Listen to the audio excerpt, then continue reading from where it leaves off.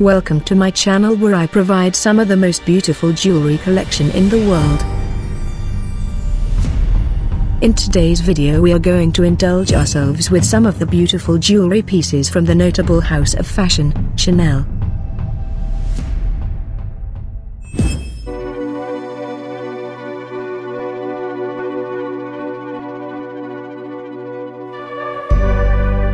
Curiously, in 1932, Gabrielle Chanel, long known for her costume jewelry featuring pearls of the Orient and colorful gems, turns her attention to the most precious of stones, the diamond.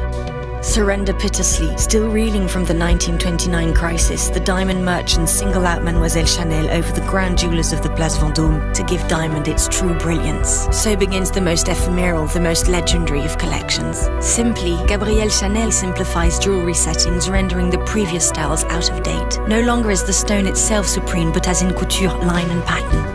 She freely mounts and repurposes her diamonds as she once had dismantled the jewels given by the Duke of Westminster to create new ornaments. Resolutely, she makes fluidity a principle and liberty a virtue, removing clasps, lengthening necklaces, sending comets sparkling across shoulders and showering the décolletage with stars.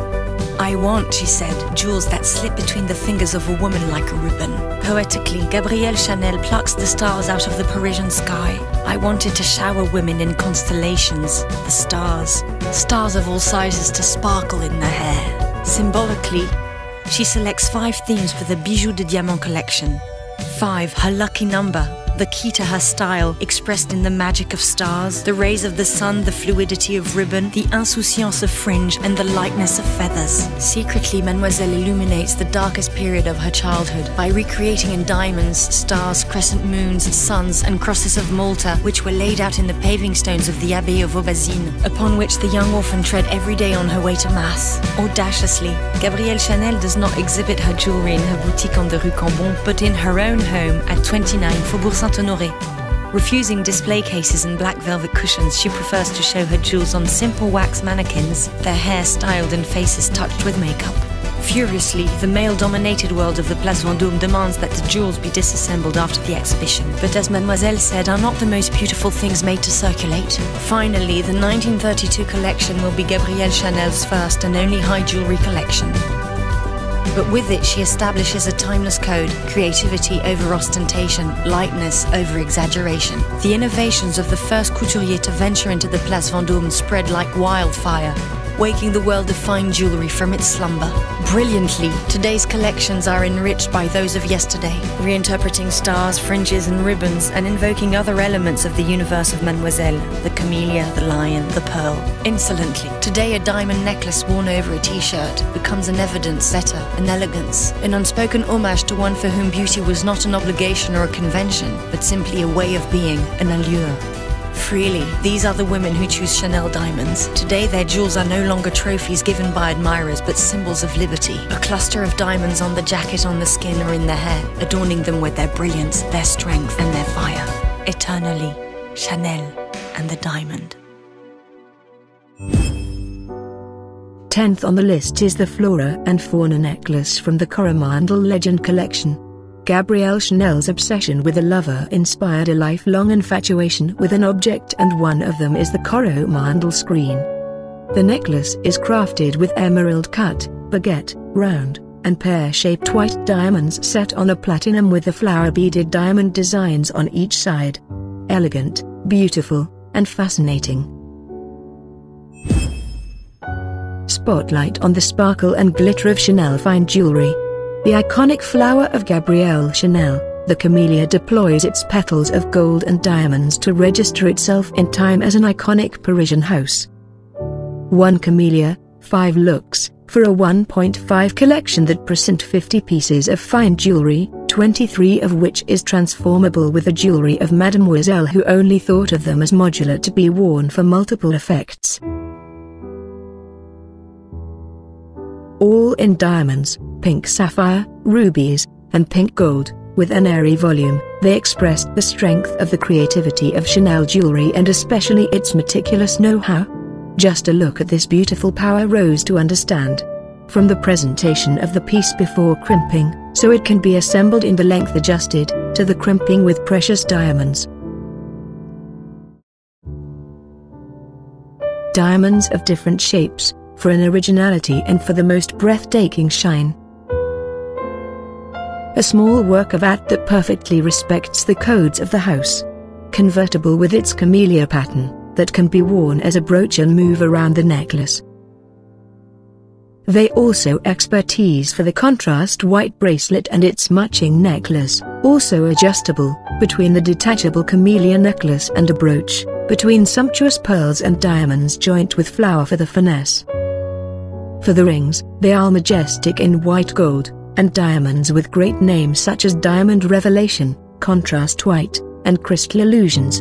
To name only the most astonishing. So many majestic stones and expert techniques, to simply dazzle. Eighth on the list, is the Eagle Protector necklace from Friendship Diamond Collection. The Eagle Protector necklace pays tribute to Gabrielle Chanel's Russian Paris, the double-headed eagle, crafted in platinum and diamonds, keeping watch over the rare shield-cut diamonds and sparkling rows of briolette-cut diamonds. Simple yet elegantly beautiful. Seventh on the list, is these beautiful Sarafane necklace and earrings, both were inspired from the Russian needlework, Gabrielle Chanel incorporated into her collections and named after a popular style of dress worn by Russian women. The embroidery-inspired camellia motif, crafted from diamonds and pearls, centers on the necklace around a stunning, round-cut 10.18 carat diamond, colorless and internally flawless. Sixth on the list is the folklore earrings, from Lover's collection. The earrings are an interpretation of colorful, traditional Russian embroideries. They are reimagined in daring red lacquer, Gabrielle Chanel's favorite color, and punctuated with tsavorite and orange garnets, blue and pink sapphires, diamond and pearls. The legend of Mademoiselle Chanel can easily overshadow the woman, Gabrielle. This is precisely what Coco wanted, preferring to hide behind her work and use the tragedies of her past to spin the remarkable yet ever-changing tale of her life. After all, Mademoiselle was a master creator. But, behind the legend, there exists a woman who loved deeply and lived passionately. Fifth in the list is the Fauna jewelries from the Coromandel collection. The Coromandel collection is made up of 49 pieces with 24 that are entirely unique. All inspired by the colors, the shape, the mood and decorations of Coromandel screen. And one of this is the fauna, composed of birds, set on a fine diamonds and colored gemstones, using the Chanel's in-house techniques of craftsmanship which brings this fine pieces of jewelry to life.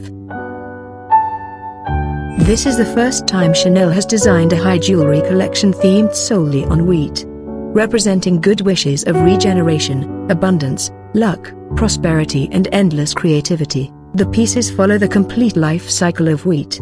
Beginning in early spring when the fields are green with young wheat shoots, Chanel evokes the verdant scenery with diamonds, peridots, crystalline and aquamarines. Premier Brins, Brins de Printemps and Brins de Diamonds play with wheat stalks forming necklaces, earrings and rings. Then summer comes round and the wheat fields turn a glorious golden hue most beautiful at sunrise and sunset. Accordingly, the jewelry pieces are designed in yellow gold and adorned with diamonds, yellow sapphires and pearls to highlight the rich bounty. Moisson Ensoleillée and moistened er pearlies bask in the warmth of the bright summer sun. Third on the list is the floral and mineral necklace from the Coromandel collection. The Coromandel baubles capture the essence of Chanel's dividers, floral motifs based on their patterns now grace cuffs and rings, while emeralds, tourmaline, red spinel, and onyx evoke their lacquer colors. Like this beautiful evocation floral necklace in white gold, green tourmalines, mint tsavorite garnet, diamonds, and pink sapphires. The Horizon Lointain necklace was born in the mineral theme. It is yellow gold, spread with clouds of mother-of pearl and diamonds, including one 6-carat gemstone. It is a so-called plastron necklace, which is originally an ornamental front of a woman's bodice or shirt from a colorful material with lace or embroidery. In vogue in the late 19th century, the creation perfectly mirrors the East meets West aesthetics of Chanel. Fans of Chanel will know that every jewelry creation from the Maison relates to a facet of Mademoiselle Gabrielle Chanel's life. Born a Leo, on the 19th of August 1883, lions played an important role in her life and increasingly in the brand's jewelry collections. The lion symbolizes power and freedom, two forces that marked the independent-minded Chanel's personal life and career.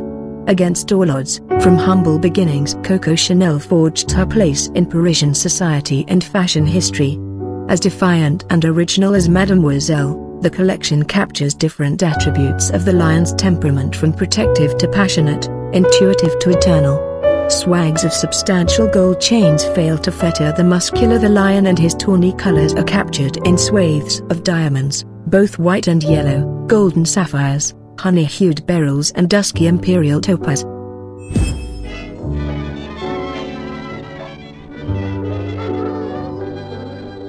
Dans son appartement célèbre, dans son appartement célèbre du Faubourg Saint-Honoré, Chanel lance les bijoux véritables et plus spécialement les diamants.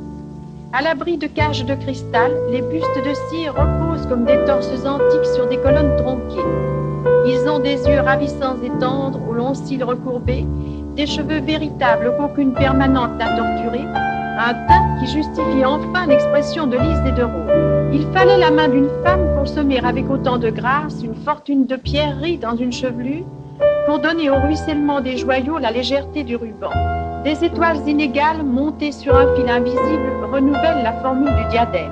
La grande ours devient un pendentif.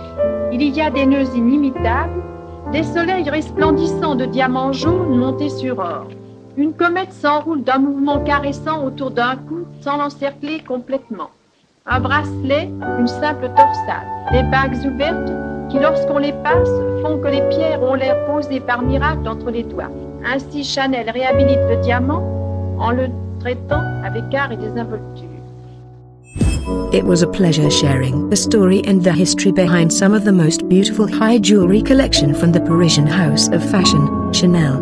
I hope you enjoyed it and have a nice day.